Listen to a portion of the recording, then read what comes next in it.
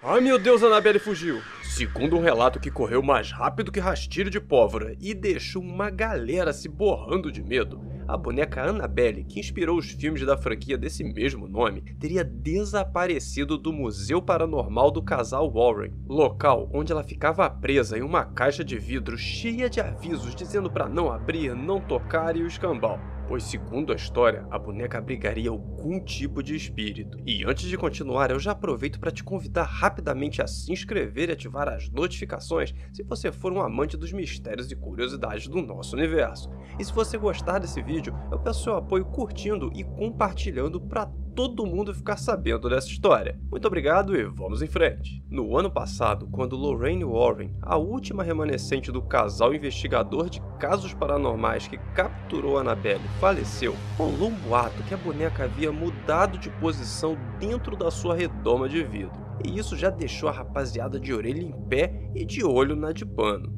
Mas como não aconteceu mais nada de lá para cá e a gente tem mais um milhão de coisas para se preocupar nesse ano, a maioria de nós acabou esquecendo dela até hoje, quando a história da sua fuga explodiu a internet. Annabelle teria fugido do Museu Oculto dos Warren, na cidade de Monroe, nos Estados Unidos, onde ficava exposta. Mas pessoal, podem ficar tranquilos que isso não passa de conversa fiada alguém lançou esse caô no Twitter e uma galera embarcou e já deu maior crédito. E olha só a proporção que a história tomou. Hoje só se fala da boneca de pano possuída. O que aconteceu de verdade foi que a Warner Bros., que é a detentora dos direitos do filme Annabelle, fez uma brincadeira com a boneca na quarentena, onde ela apareceria fazendo várias coisas com o passar dos dias, e no final ela sairia de carrinho para dar um rolé de máscara e tudo. É muito provável que foram brincar com isso no Twitter e a parada tomou uma proporção surreal. E muita gente acreditou que a boneca Annabelle tivesse fugido de verdade.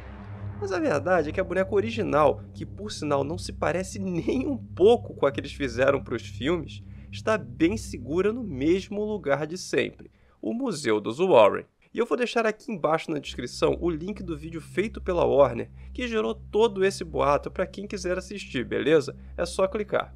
Mas antes de ir lá, me conta aqui nos comentários, você estava sabendo da história da escapadinha da Annabelle? Você acreditou em algum momento que realmente poderia ter acontecido? E você acredita que exista algo de sobrenatural nessa boneca ou acha que é história para vender livro e filme?